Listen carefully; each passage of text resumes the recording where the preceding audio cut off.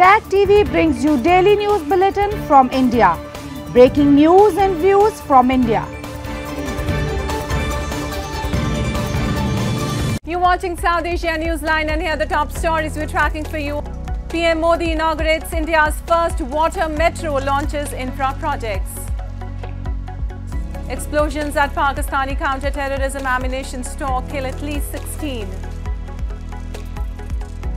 And Mohammad Shahabuddin sworn in as Bangladesh's 22nd president.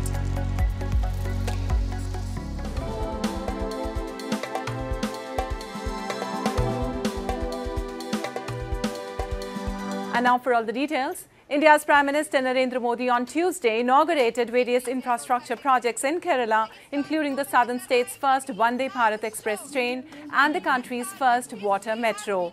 He also interacted with a group of school children inside one of the coaches of the semi-high-speed train, which will connect over 11 districts.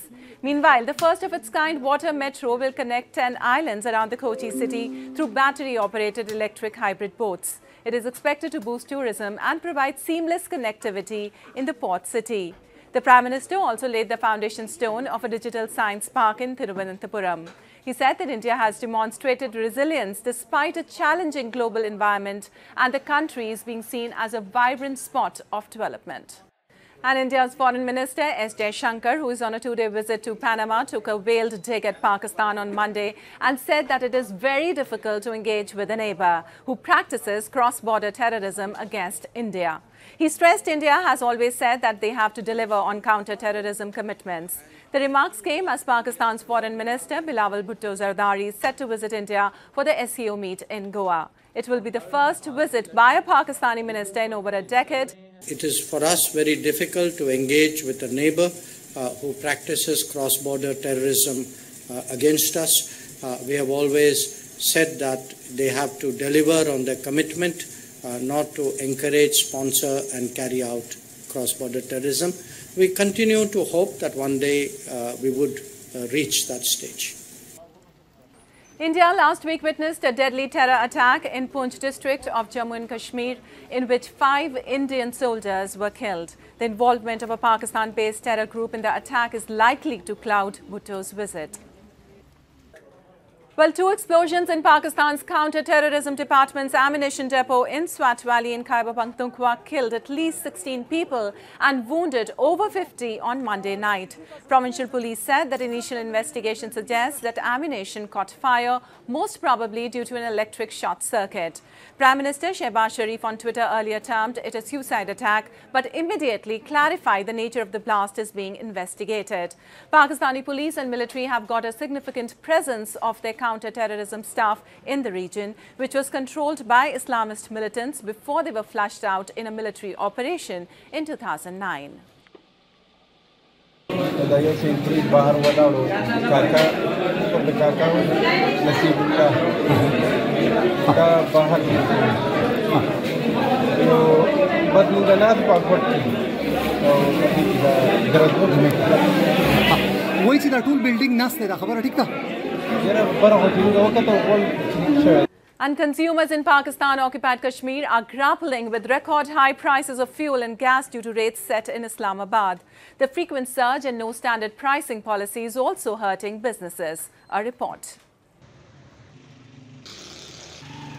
Gas distributors in Pakistan occupied Kashmir are upset over frequent gas price hike, which is subsequently affecting their business with consumers unable to purchase at the rates set by Pakistani authorities. They have lamented there are no standing pricing policies in place amid the crisis. It is hard to buy gas at high cost and sell it while incurring losses.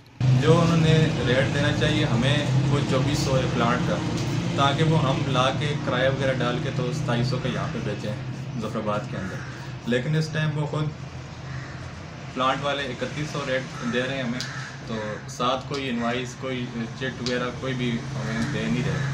वो कह रहे हैं, जिसको चाहिए, वो ले लें, जिसको नहीं चाहिए तो वो जब रेट कम होगा तो हम फिर फिर आप रब्ता करेंगे तो फिर हम आपको देंगे।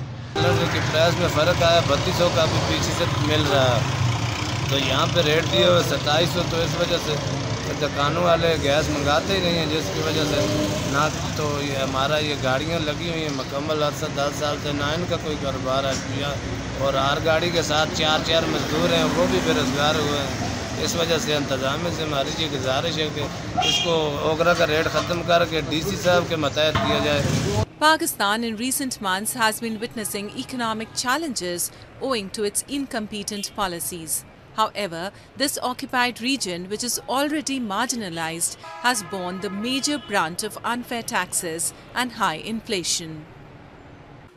The Taliban has denied the reports of classified Pentagon assessments stating that Afghanistan has become a significant coordinate site for the ISIS group that plans attacks in Europe and Asia and carries out aspirational plotting against the US. The head of the Taliban's Qatar-based political office, Suhail Shaheen, said that the report is not as per the ground realities in Afghanistan. Taliban spokesman Zabiullah Mujahid termed the assessment fake and part of an ongoing propaganda campaign against their government. He said that ISIS and other terrorist groups in the country have been severely affected and are in the process of being destroyed. The Taliban captured Kabul in August 2021 when the US and its NATO allies withdrew after two decades of war. Since then, Taliban has been battling the ISIS.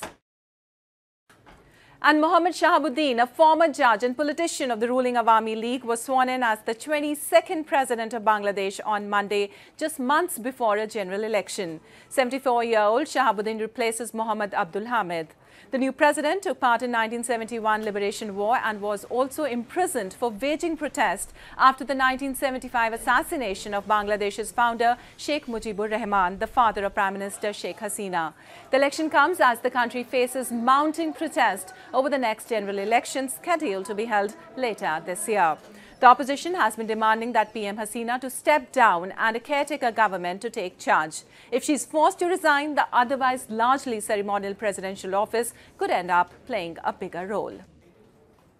And the doors of the Kedarnath temple in India were reopened for devotees on Tuesday. The portals of Kedarnath, one of the holiest hill shrines, are closed in winters for nearly six months due to heavy snowfall. Take a look.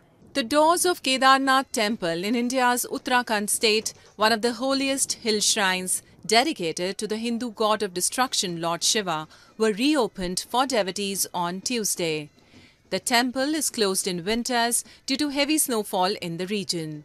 Devotees stood in long queues, chanting prayers as they waited to offer prayers to Lord Shiva.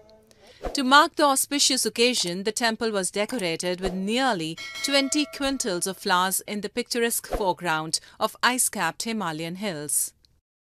और आज परंपरा के अनुसार हमने कपाट छह बजकर बीस मिनट में खोल दिया गया है Kedarnath is part of the popular pilgrimage route known as the Chota Char Dham Yatra, covering Kedarnath, Badrinath, Gangotri and Yamunotri.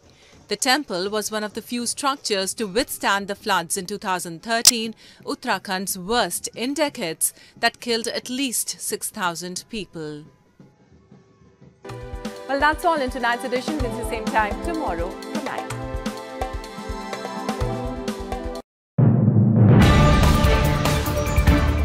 Tag TV brings you daily news bulletin from India. Breaking news and views from India.